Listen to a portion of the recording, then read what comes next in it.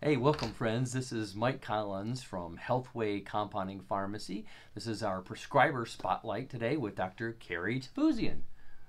How you doing, Dr. I'm doing good. How are you? I was going to say good morning, doing but no. I think it's, It's afternoon really right afternoon. Well, daylight savings time. We really never know what time it really. I is. know do it's, we? Cra- it's crazy. It is kind of crazy. Gets Hey, dark way too early. I know. Today we wanted to talk a little bit about bioidentical hormones and hormone replacement therapy.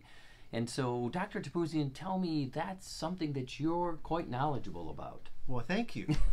well, and I've been doing bioidentical hormones probably for about 15 years.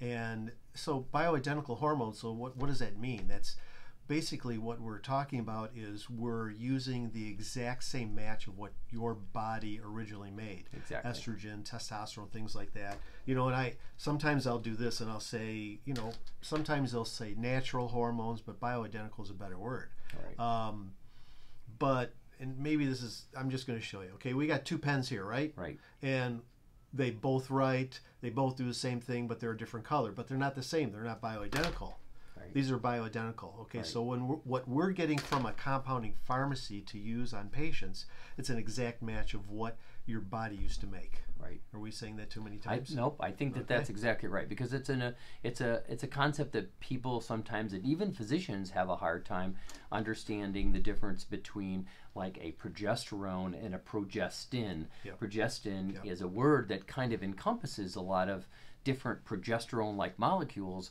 But they're not exactly what women's ovaries make. They make progesterone. They don't make medroxyprogesterone acetate or any other synthetic form of progesterone. And so it's always important that I explain to them that you know natural is kind of one word, Mm-hmm. but bioidentical is a word we want to use when we're talking about hormones because Sure. it's exactly what their body makes. Now, Right. is it made in a lab? Of course, it's got to be made in a lab. We're not going to have a bunch of women donating their ovaries Right. so we can squeeze them out and get progesterone out of them. but your body doesn't say oh that came from a lab and this came from your body it, That's it- it's an exact match that's a good point insulin is a bioidentical hormone melatonin i'm sure a lot of you have tried taking it at night that's a bioidentical hormone there's a lot of things out there that are bioidentical So when we're talking about females, what specifically are they the type of hormones that you would replace? Well, usually, you know, you're looking at estrogen, and Yeah. there's two estrogens that you'll look at. One's called estradiol, the other one's called estriol.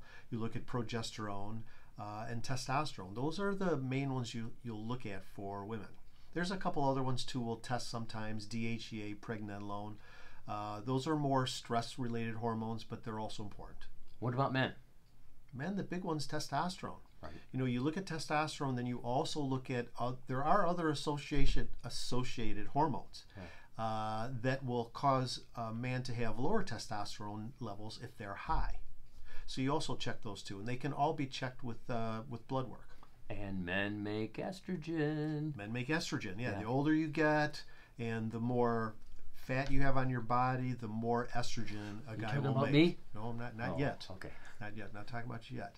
But it's true, you know. And then you know the, I'm going to say it, man boobs. Okay, what Right. is that? That's guys that are making too much estrogen. Right. Okay, and that's not good. You don't want to make too much estrogen because that means you have lower testosterone levels, and it also can affect your prostate gland. Okay, so you, there's ways of stopping your body naturally. We'll use the word naturally here to stop you from converting and making estrogen from testosterone, and that's part of the plan when you're treating a guy. Right. And and the other thing is statistically, by the time you're 50 years old, you're make uh, a man is making 50% of the amount of testosterone he was making when he was 21. By the time he's 70, he's down to 10%. Okay, that's not good. Okay, So we're going to kind of close it off there because in future talks, I want to get more specific with Dr. Topouzian about each individual hormone. We'll talk about women's hormones, we'll talk about men's hormones. So, Good idea. folks, stay tuned for some of our future talks on hormone replacement therapy. so this was like a teaser. this was a ah, teaser. Cool. Yeah. I like it. Stay tuned. All right. Live healthy, my friends.